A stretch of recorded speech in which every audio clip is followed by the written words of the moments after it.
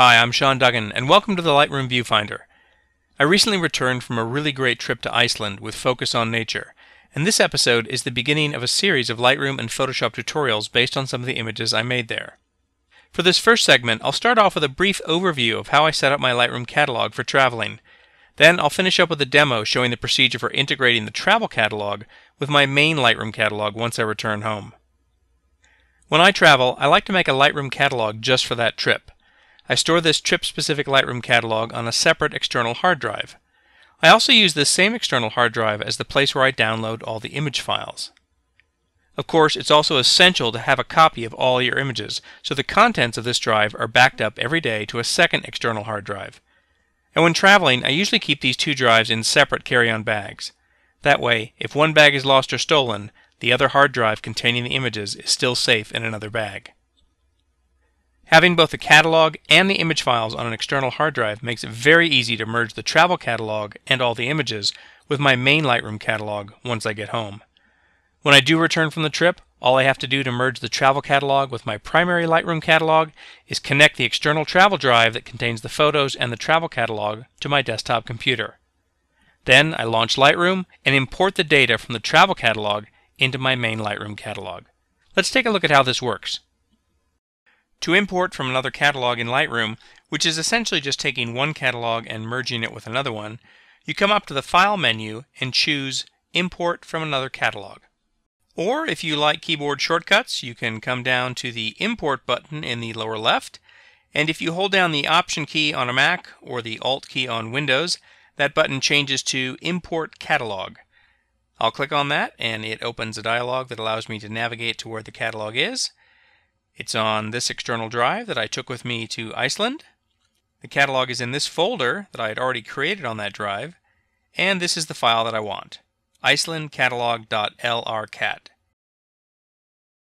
Now, just to keep this clear, this catalog file is the database that Lightroom uses to keep track of the images.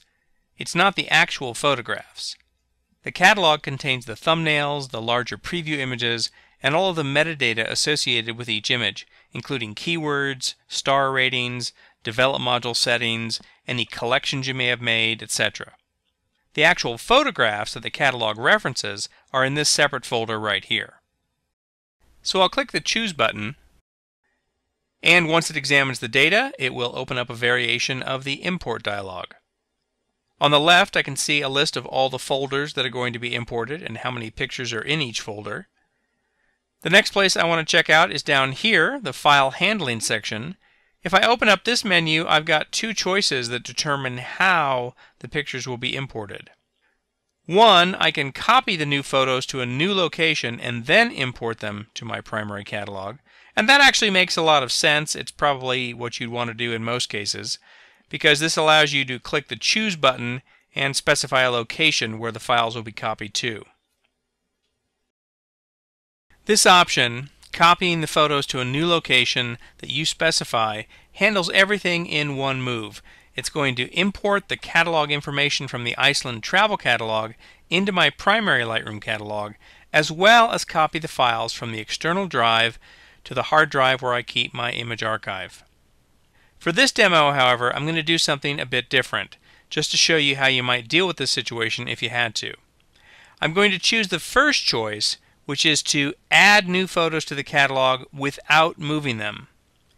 So what this is going to do is add the Iceland catalog information to my main Lightroom catalog, but it will still register that the location for these photos is that small external hard drive that I traveled with in Iceland.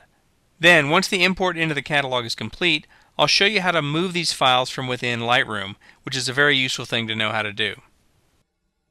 Alright, I'm ready to go here, so I'm just going to click the Import button and let it get started. This is a pretty good sized catalog, so it'll take a little while to import all of the information. So what I'll do is pick this back up when the import is finished. Okay, the import from another catalog process is done now. And all of the previous develop adjustments, keywords, and ratings that I applied when I was in Iceland have now been migrated over along with the thumbnails and previews, and it's all a part of my main Lightroom catalog now. Since I chose to import the catalog information with the files at their current location instead of copying them over to a new location, I have a new addition here in my list of hard drives. It's this G Drive storage, which was my travel drive when I was in Iceland. And if I open this up, you can see that there is the folder with all of the Iceland photos. So what I want to do now is I want to move the photos so that they are down here in the 2012 folder of my main Image Originals archive. Before I do that, however, I'm going to right-click on this folder and I'm going to choose Rename. And I'll use a naming scheme that shows the date that the last picture was taken, 120719, and that references 2012, the seventh month of the year, July, and the 19th day. That just keeps it consistent with the folder names in the rest of my catalog. Consistency with file names is a really important part of a well-organized Lightroom catalog. So the important thing when you want to move files around that are part of a Lightroom catalog is that you do that from within Lightroom. If you do it outside of Lightroom, behind Lightroom's back, it's not going to know where those files have been moved to, and it will display question marks on the folders and the image thumbnails. And that just means that the files are no longer stored in the location that is referenced by the catalog. To prevent that, it's always best to move the files from within Lightroom. So to accomplish this, I'm going to take my folder of Iceland images on the travel drive and I'm going to drag and drop it on the 2012 folder down here. When I do that, I get a message telling me that the corresponding files will be moved on the hard drive. There's also a line here saying that this is a move that cannot be undone, and that just means that it can't be undone through the edit undo command. You could always undo it just by moving the files back if you needed to. I'll click the Move button and Lightroom will start moving these files from the travel drive onto the hard drive where most of my image archive is stored. There's a progress bar in the upper left corner of the interface, and this will take a bit of time since it's well over 8,000 images and also some video files. So that is how you can keep a separate Lightroom catalog for traveling, import that catalog into your primary Lightroom catalog when you return home, and also how you move files from within Lightroom so that the program always knows where those files are. I'll be delving deeper into my Iceland catalog to share imaging and video techniques for both Lightroom and Photoshop in future videos. Thanks for watching.